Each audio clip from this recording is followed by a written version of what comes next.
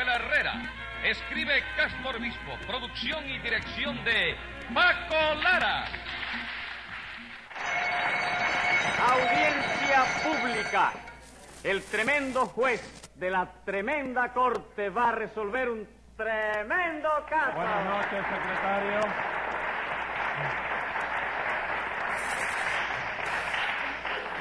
Buenas noches, señor juez. ¿Cómo sigue del hígado? Muy mal. Probablemente lo mío sea de herencia, porque mi padre y mi abuelo también padecían del hígado. Eh, ¿y usted cree en eso de la herencia, señor juez? Como no, compadre, si eso es científico. Al lado de mi casa vive un matrimonio que usted no sabe la tragedia que tiene con eso. Eh, ¿y qué le pasa a ese matrimonio? Pues que él se llama Seferino Sabicú Sí. y nació en el pueblo de Jiquí.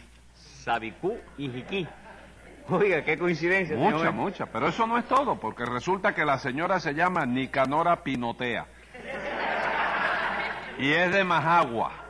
¿Se da usted cuenta? Bueno, señor juez, me doy cuenta de que ese matrimonio tiene madera por todos los lados. Pero, ¿en qué consiste la tragedia? Pues en que hasta ahora ese matrimonio ha tenido cinco hijos, todos varones, ¿Y qué? que todos han nacido con una pata de palo. No. Sí, señor. Y los médicos dicen que cuando tengan una hembra, seguro que van a ser con el pelo color caoba. Oiga, oiga, perdone, señor juez, pero yo no puedo creer eso. ¿Qué dice, atrevido? Póngase un peso de multa por no creer a su jefe. Pero óigame, señor juez. si Póngase el peso hablando. sin protestar. Y a ver qué caso tenemos hoy. Una estafa, señor juez. ¿A quién estafaron? A una mujer. Pues llame lo complicado en ese mujericidio. Enseguida, señor juez. Luz María Nananina. Aquí como todos los días. Rudecindo Caldeiro y Escoviña. Presente. José Candelario Tres Patines. A la reja. ¿Qué le pasa, secretario? Sigue soplándose. No, es que hay mucho calor aquí. Mucho calor, ¿verdad? Bueno, nananina, si no estoy equivocado, hoy la estafada es usted. Sí, señor. Yo Ah. acuso al sinvergüenza ese de tres patines de haberme estafado 50 pesos. No, señora, eso es una calurnia. ¿Calumnia de qué? Tres patines no me estafó 50 pesos, Rudecindo. No, señora. Mire a ver, mire a ver. Pero ¿cómo, Rudecindo? ¿Usted va a defender a tres patines? No, señora, yo no lo voy a defender. Solo estoy diciendo que Tres Patines no le estafó a usted 50 pesos. Mire a ver. ¿Y cuánto me estafó, Rudecindo? 49.75 nada más. Mira a ver, mira a ver. Y Rudecindo es una persona que no miente nunca. Nunca. Así es que... Espera, espera, espera un momento, espera, un momento. 49.75 tampoco, Rudecindo. No, eso No. sí, 49.75 si los estafó usted, que me consta positivamente, ¿cómo no? Oh, No le haga caso, señor juez, no le haga caso. Lo que pasa es que Rudecindo y Nananina tienen capú contra mí, ¿no? Con que capú contra usted, ¿no? Claro, chico. Todavía usted se acuerda de cuando era muchacho. Capú que te lo vi. Capú que te lo vi. Todo para mí, nada para ti. Todo pa' mí, nada pa' ti. Ay, bueno, nananina, a ver, ¿qué le ocurre a usted? Pues lo que me ocurre a mí, señor juez, es que yo me voy a casar el domingo que viene. ¡No! ¡No! ¿Qué, ¿Qué es eso? ¿Qué? ¿Y por qué no? ¡No me tire voladores en ahumado, señor! ¿Por qué no? ¿Tiene algo de particular que yo me case? Bueno, nananina, la verdad es que a mí también me sorprendió la noticia. Que porque, sorprender, chico. Porque la verdad que la... ¿Qué edad tiene usted? Bueno, Rudecindo, yo tengo... Doctor, yo tengo que decir la verdad de mi edad. Así como no, en el juzgado no se puede mentir, señor. Bueno, pues yo tengo... No, espere, espere. Espere, espere. Primero tiene que hacer el juramento que manda la ley. Ponga su mano izquierda sobre el corazón. Sobre el corazón. Sí. Ahora extienda su mano derecha. Ajá, perfectamente. Y ahora conteste. ¿Jura usted decir la verdad, toda la verdad y nada más que la verdad? No, señor, no lo juro. Magnífico. Diga No lo entonces lo que le parezca. Bueno, usted quiere saber la edad que yo tengo, ¿no es así, Rudecindo? Sí, señora. ¿Cuántos años tiene usted? Bueno, pues no me lo va a creer, pero tengo treinta y pico. Vaya. Para que vean, caballero, dijo la verdad. ¿En qué dijo la verdad? ¿En que tiene treinta y pico? No, no, dijo la verdad en lo que dice que no se lo íbamos a creer. No hay quien se lo crea eso. Bueno, pues No hay aunque- quien se lo crea, señora. Aunque no me lo crean, tengo treinta y pico. Sí. Bueno, por una curiosidad, nananina. El pico ese es un pico de gorrión. o un pico de turquino? Va- vamos a dejarlo, vamos a dejarlo en un pico de obras públicas. ¿Le parece a usted bien, nananina? A mí sí. Bueno, pues siga entonces. ¿Con quién se casa usted? Con un muchacho de muy buena familia, gracias a Dios. Ajá. ¿Dónde se casan? ¿En la Merced? No, en Mazorra. ¿Eh? Vaya, chico. Mi novio vive allí. Ah, vamos. Es empleado de Mazorra. No, es cliente. Como cliente. Ah, Sí, lo dejan salir cada seis meses a casarse porque esa es la manía que tiene. Y luego lo vuelven a meter dentro. Creo que esta es la novena vez que se casa. Ah, sí. ¿Y Ah. qué tal es su novio? ¿Ataca? No, es mansito. Mancito, y se soltó una vez. ¿Qué le pasa a Ay, usted? eh. ¿Quién- Oiga, ¿qué le pasa a usted? ¿Quién le ha dado vela en este entierro? No, no, no, no, yo no sé qué le pasa a él, que cada vez que se habla de que yo tengo un romance, me voy a casar, él se mete. ¿Qué es lo que es, chico? No, ¿Qué es lo que es, chico? porque... Bueno, ¡Eh, oye, es que me extraña que se aparezca otro bobo como yo. y que cague, chico. dígame... eh, Pero hay bobo, hay bobo que lo atrapé 17 años para que tenía tiempo para pensarlo. No sea ¿Pero vos, hasta que lo qué? hasta que lo boté. Si no, no será. Además, eres mansito, señor G. Solo muerte cuando lo provoca. Ah, pero muerde. Sí, Mira, pero pues. ya le dijeron que tiene que usar para casarse un bozal. ¿Está conforme? No me diga, ¿y usted se va a casar con un hombre así? ¿Qué remedio le queda? ¡Cállese chico? la boca, señor! Óyeme, viejo. Tiene que afincar a lo que Sí, se presente. claro, señor juez, y es que Si yo no estoy se monta en ese vagón, se le va el tren, chico. Es que yo estoy acostumbrada a casarme con cualquier cosa que se me presenta ahí. No, un momento, eso va por mí. No, no, que va por usted, no. Eso no va por usted, eso va por el sobrino de una tía suya. Ah, bueno, ya me... ¿Cómo no? ¿Qué No se ocupe, ya eso pasó. hijo, Ah, ya no, no pasó. Yo y no le consiento Eh, eh, eh. que, que venga con esa bobería a hablar del... eh. ¿eh? ¿Qué gritos Ah. son? ¿Qué cosa es eso? No, me usted no se... Pero, usted no se ha dado cuenta con quién está hablando. ¿Con la señora del loco? Con- No, señor. No, Todavía Con no la es la futura. señora. No es la señora del loco, es la una futura dama. señora del loco. ¿Ya me entiende? Del arrebatado. Ah, Es una dama, ya esa dama usted la respeta. pero ya tú sabes, se casa con el loco y, y el loco se la lleva para Mazamorra, ¿viví?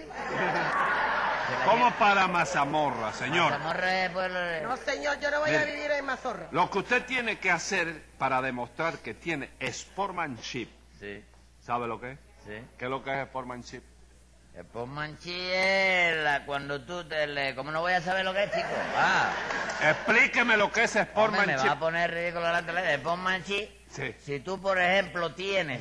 Sí. Fíjate, Ajá. si tú tienes un peso Ajá. y yo no tengo dinero y yo te digo, dame ese peso y tú te quedas el, eh, el Pomanchi. Bien.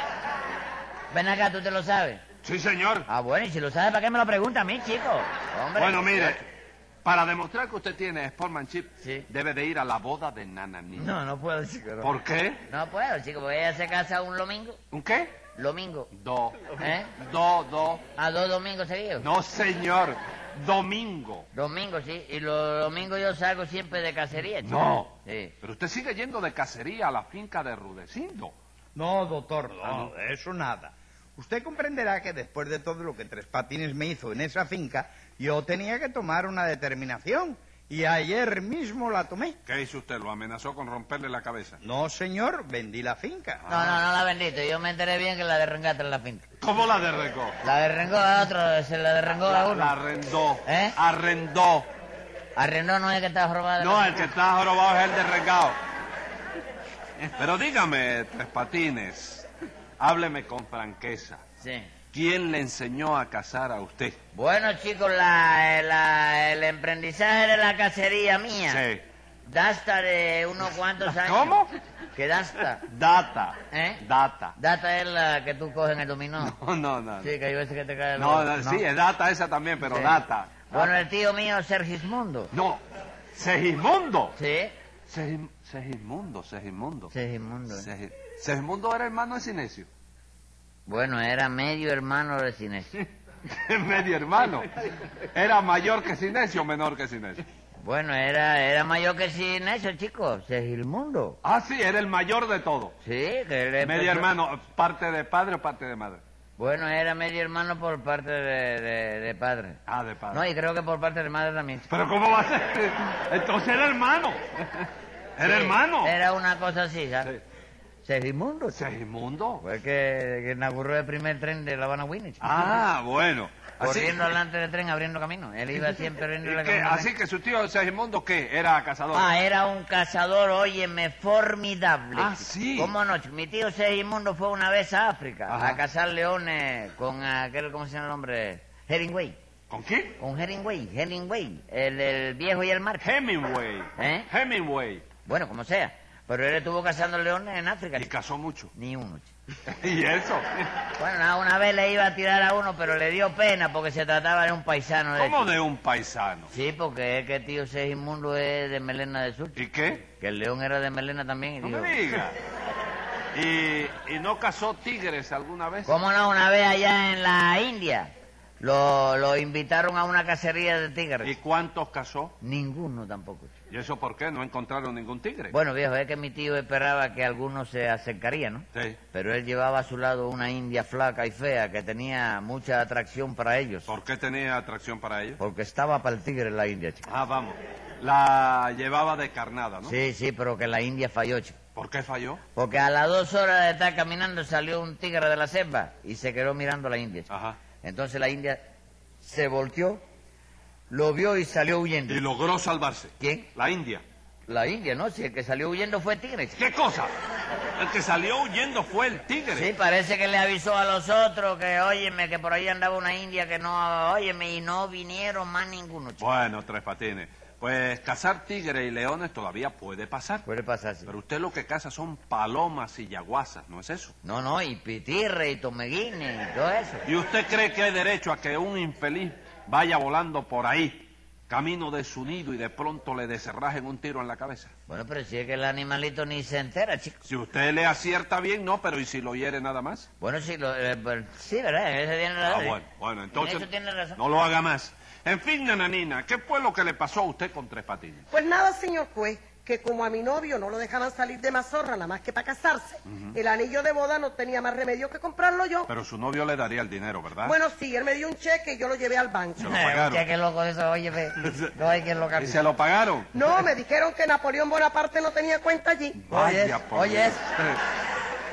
Entonces tuvo que poner el dinero usted, ¿verdad? Sí, señor. Tres Patines me dijo que por 50 pesos él me conseguía un anillo de oro de 25 quilates, Ajá. con una piedra muy fina en el centro. Yo le dije que bueno, que estaba bien y le di los 50 pesos para que me los trajera. ¿Y qué?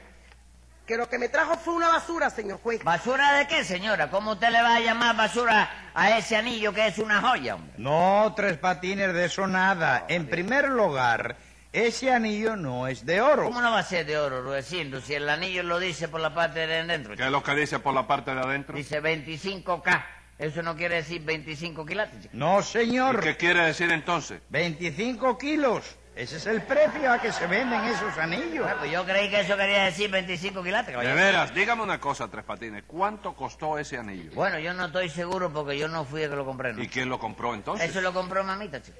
Seguramente que ella, como es un poco así corta de vista, pues se confundió y en lugar de comprar un anillo de 25 quilates, lo compró de 25 kilos. No me haga Pero- cuento a mí. Usted sabía de sobra que ese anillo era una basura. Como palabra que no, nananina. Yo vi el anillo y me pareció bueno, esa es la verdad, chico. Mentira, porque usted me dijo que tenía una piedra muy fina en el centro y no tiene nada. ¿Cómo que no tiene nada? Ese anillo no dice 25K Sí. y el 25 no es piedra fina. ¿Eh? Escriba ahí, secretario. Venga la sentencia. Este tribunal opina que el delito está probado y estima que el acusado ha estafado a Nananina, por lo cual se le condena a que compre un buen anillo y se le ponen de pena dos meses en el castillo.